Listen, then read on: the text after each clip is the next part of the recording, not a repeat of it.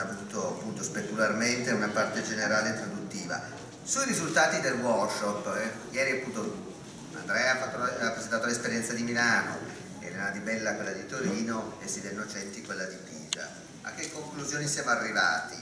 Beh, riguardo alle city food policy, che sono questi percorsi nuovi, dobbiamo trovare il modo di farli assurgere a sistema anche in un quadro nazionale. Ci è sembrato che forse il percorso eh, più praticabile, poi vabbè, questa è inaudita altra parte, poi quando avremo modo di parlare direttamente lo capiremo meglio, sia visto che esiste un'associazione che si chiama ANCI, l'Associazione Nazionale dei Comuni Italiani, di vedere se all'interno di ANCI ci può essere intanto queste politiche andranno avanti, andranno avanti, verranno portate, esportate in gran parte del mondo. Noi ci interroghiamo a Milano o a Torino, però immaginatevi quale può essere la situazione in Cina con agglomerati di tutt'altra dimensione. Allora semplicemente la proposta è di vedere se l'ANCI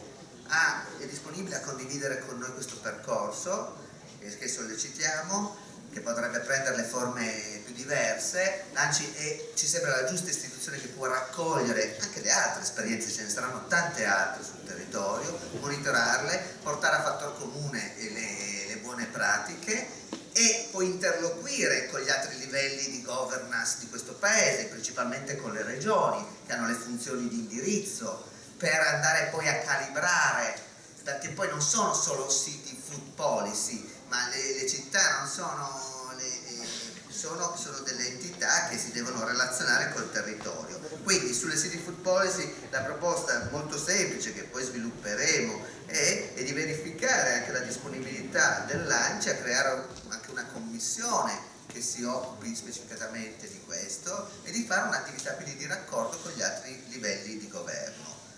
Passo subito la parola a Tina Napoli che racconta l'altro pezzo del workshop che era dedicato all'etichettatura, ma perché? Perché noi rischiamo di sviluppare delle grandi, ambiziose politiche territoriali e poi abbiamo ancora delle strettoie normative o, o di altro tipo che, che, che, rischiano poi di smontare a valle tutti i buoni propositi. Ne faccio un piccolo esempio, noi possiamo creare le migliori city food policy, se poi però andiamo a schiantarci su quelle che, che è un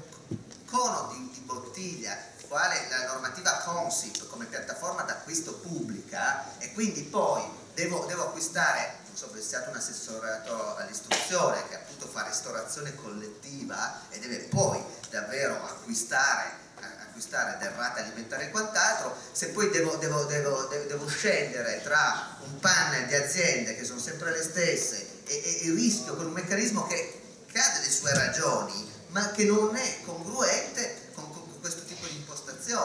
Quindi si tratta di ricalibrare, di, di ricalibrare i, i, livelli regolamentari per, per, per, per, far sì che anche eh, con i migliori propositi non si vada a smontare dei percorsi importantissimi. Io ringrazio veramente i partecipanti al workshop numero 3, complessivamente abbiamo avuto più di 40 interventi in tre ore, quindi ringrazio anche proprio per l'educazione e per la comprensione che dovevamo stare dei tempi, delle, delle regole, tutti hanno fatto dei, dei, sacrifici, sono emerse, non ve le posso raccontare, una serie di, di ricchezze bellissime che, sono, che, hanno toccato i temi della logistica, i temi del public procurement sull'acquisto e così, però mi fermo qui perché se no eh, commetto un errore di metodo e passo subito la parola a Tina Napoli che, che, che, mette a punto invece l'altro pezzo sull'etichettatura e, e. Grazie.